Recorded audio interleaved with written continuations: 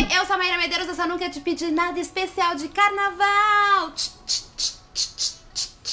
Isso é uma música de carnaval? Peraí, antes de começar eu preciso de uma coisinha muito melhor agora, não é mesmo, queridos?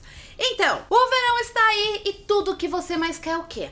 Você quer só colocar o seu biquininho, dar uma entrada maravilhosa numa piscina bem gostosa, usar uma roupinha curta porque tá calor. Porém, é bem nessa hora que muitas pessoas, assim como eu, que sou fora do padrão de beleza, a gente começa a escutar umas ideias de pessoas muito quadradas. Por exemplo, Existe um corpo para o verão. outro exemplo, Silhueta X não combina com roupa Y. Ou você que tem barriga, você não pode usar um crop de uma blusinha curta. Porque né, os olhos das pessoas vão cair se elas verem uma barriguinha de fora que não seja uma barriga negativa. E você acredita que tem gente quadrada usando esse tipo de argumento pra falar até o que a gente pode ou não pode usar no carnaval? Numa simples busca de internet eu achei um monte de matéria falando isso, sim. E sabe o que eu vou fazer? Porque eu sou uma pessoa muito ousada. Eu vou fazer exatamente o contrário que essas matérias falam pra eu não fazer. E pra ir mais a fundo nessa minha experiência antropológica, eu vou usar cada uma dessas fantasias que eles estão falando que eu, uma menina gorda, não posso usar.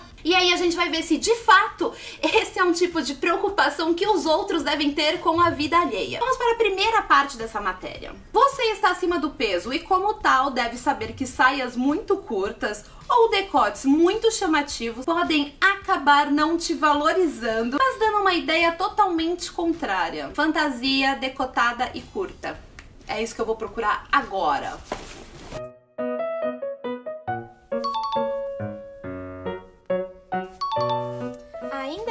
Encontrei essa fantasia aqui, não é mesmo? Agora só preciso testar ela em uma festa de carnaval. Ah, tô vendo uma ali! Não, mas peraí que eu vou pegar o meu binóculo.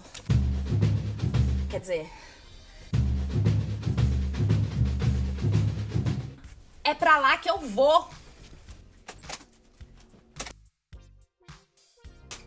Meu Deus, que festa maravilhosa! Que ninguém passou mal porque eu tava vestindo saia curta e decote. E outra coisa, eu percebi que lá tava todo mundo querendo só se divertir, ninguém tava querendo, né, ser fiscal de look alheio. Por isso que a gente vai ver agora uma outra dica quadradésima que nós não vamos seguir. Nada de personagens clássicas que as gordinhas geralmente usam como as fadas. Use a fantasia de princesa. E pra isso é melhor que você use um tipo de espartilho ou cinta pra dar só uma apertadinha em você e deixar o vestido com um caimento melhor. Vale tudo pra curtir uma festa incrível com seus amigos. Querida pessoa, eu acho melhor você dar uma apertadinha nas suas ideias, porque vai ter um caimento muito melhor na sociedade. Você vai ver só a minha fantasia que eu não posso usar de fada. É por isso que eu não posso estar toda amarrada, entendeu, querido? Eu não posso estar com uma não posso estar com espartilho, porque eu tenho que ter mobilidade. Eu tô aqui, ó, com mobilidade, uma roupinha de fadinha, tá todo mundo bem. E agora eu vou lá ler a sua próxima dica pra eu fazer tudo ao contrário. Se você for vestida de havaiana, faça sempre o inverso das meninas magras. Use a blusinha florida e a saia lisa. Ai, você deve estar se perguntando, Maíra, você não tá de Havaiana. Por que, que você não tá de Havaiana? Por um motivo bem simples. Porque cultura não é fantasia. Havaiana, muçulmana, índia, que mais? Africana. Tudo isso são culturas, ou seja, não são fantasias. Troque a sua fantasia de havaiana, japonesa, índia, não sei, por qualquer outra que não ofenda a cultura de ninguém. Mesmo que a sua fantasia ela não queira dizer nada com nada, fantasia tem que ser divertida e não ofensiva. Pega essa dica redonda pra vocês, meus amores. Ah, Maíra, mas eu não tô querendo ofender alguém, etc. Mas se você possivelmente pode ofender alguém, por que fazer isso, não é mesmo? E visto que não acontece nada no planeta se a gente veste uma fantasia que não ofende ninguém, a gente já percebeu que tá tudo bem. Vamos dar agora mais uma lida naquele site close quadrado e vamos fazer exatamente o oposto do que ele tá mandando. Cuidado com as cores e modelos de fantasias que forem escolher. Peça que alguém que não seja a vendedora da loja dê uma dica de se aquela fantasia ficou realmente boa ou não em você. Algumas cores geralmente realçam suas imperfeições. Use um tom mais escuro e um modelo de tecido mais pesado que deixe o seu corpo mais uniforme. Tecido pesado e escuro. Aqui não, queridinho! Vem cá!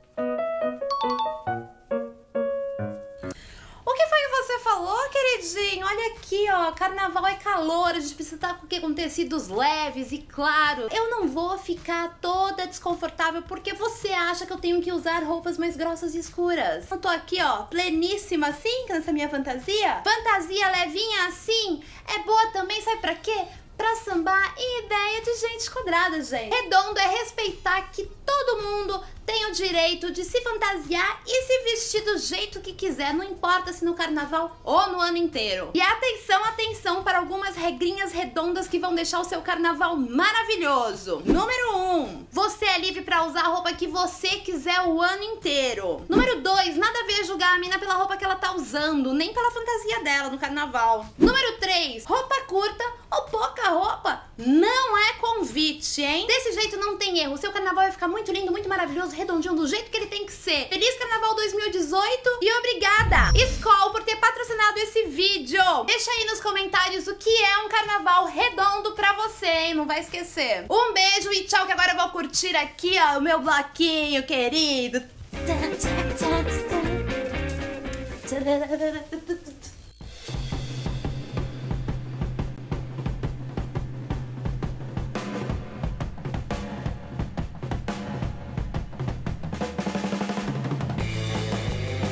Se beber, não dirija.